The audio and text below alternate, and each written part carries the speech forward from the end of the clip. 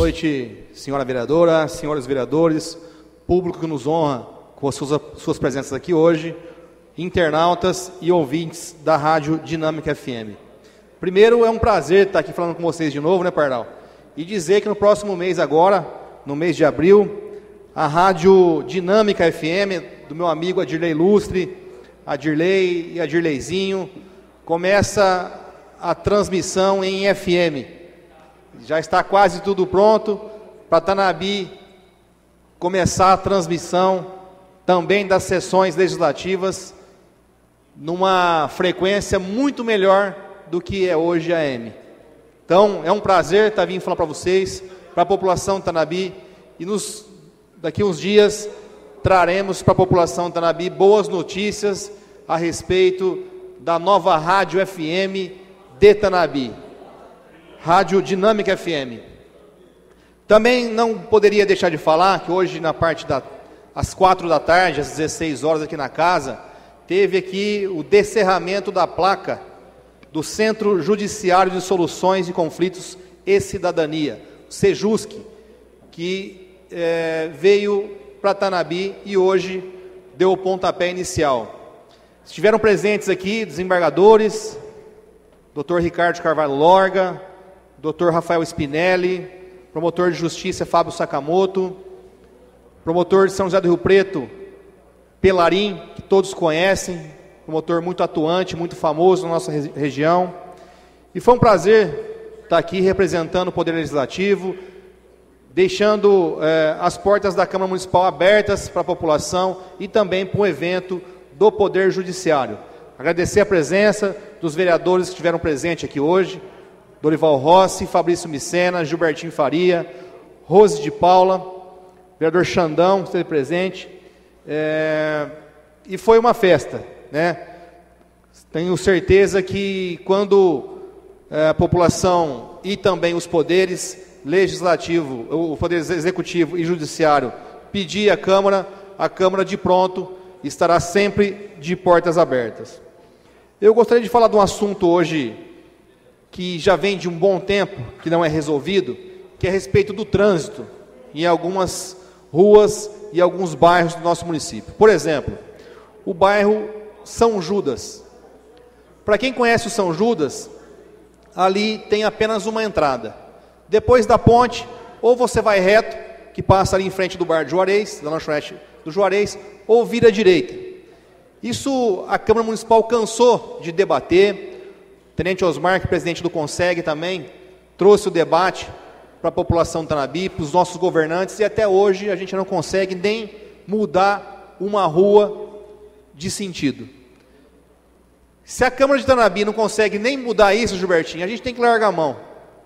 Porque é uma vergonha a gente ter um diretor de trânsito, que aliás recebeu muito o ano passado, recebeu esse ano, e não fez nada para a população de Tanabi, não fez nada para o trânsito de Tanabi. E o que resta é a Câmara vir aqui, bater na mesa, bater na tribuna e cobrar. Vamos continuar cobrando, porque de repente é, eles ficam com vergonha e fazem alguma coisa para a população do São Judas. Também em relação à ponte, que dá ligação para o supermercado Proença, que nos horários de pico é insuportável transitar pelo local não consegue passar de carro, de bicicleta, de moto e nem a pé consegue passar ali naquela ponte. Então a gente vem debatendo desde a gestão passada, mas infelizmente a prioridade da administração não é essa.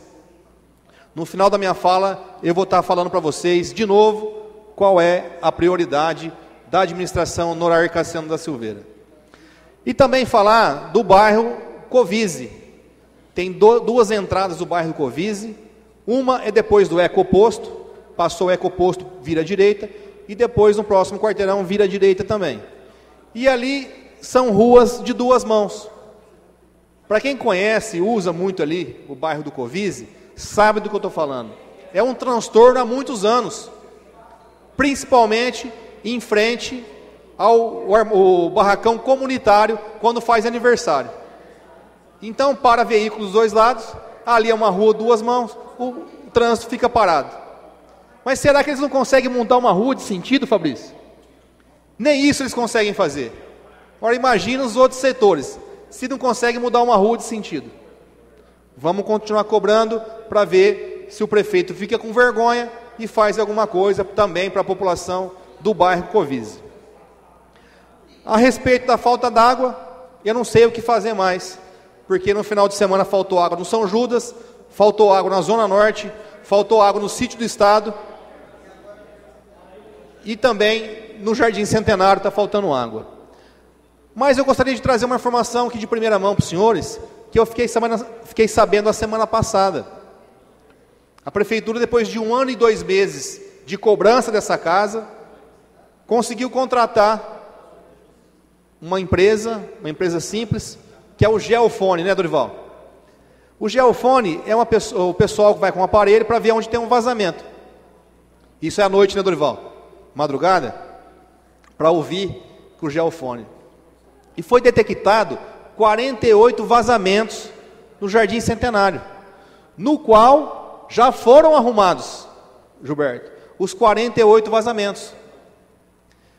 Hoje, muitas casas, muitas pessoas que residem naquele local, já têm água na sua torneira e a pressão é muito boa. Precisa fazer ainda mais.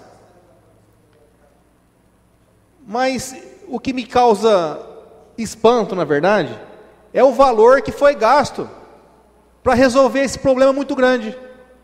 Foi gasto ali, Dorival Rossi, 16.500 reais para resolver o problema de 600 moradias no Jardim Centenário.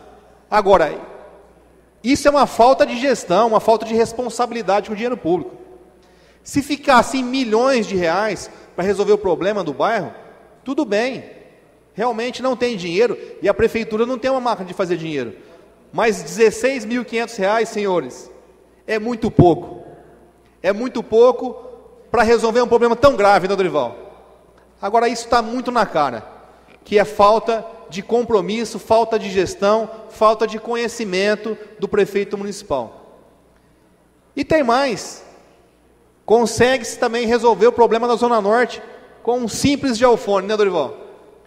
Resolvendo algumas, alguns pontos críticos de vazamento na Zona Norte, no qual vai gastar pouco dinheiro também. Agora, nem isso o prefeito faz.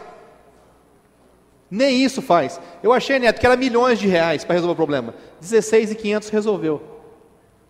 A população ficou um ano e dois meses sofrendo. Está sofrendo ainda. Está sofrendo ainda.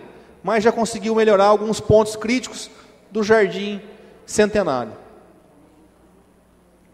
Bom, vamos em frente aqui para falar de coisas importantes. A água é muito importante. Mas hoje eu não poderia deixar de falar a respeito dos estudantes universitários que deram um show aqui na casa hoje. Um show de cidadania. Para estar tá aqui reivindicando seus direitos. Direito esse que não precisaria vir aqui para pedir esmola, porque isso é esmola. 15 reais é muito pouco. Senhores imaginam o prefeito bater no peito para falar que está dando apenas 15 reais, está diminuindo 15 reais da Associação de Rio Preto. Isso é uma vergonha monstruosa. Teve aqui o Salem, que participou da eleição do Norair, no mesmo palanque que eu, vereador Denvinha Zanetone, Pardal, Xandão, Rodrigo Bechar e Cristal. Que acreditamos na palavra do Norair.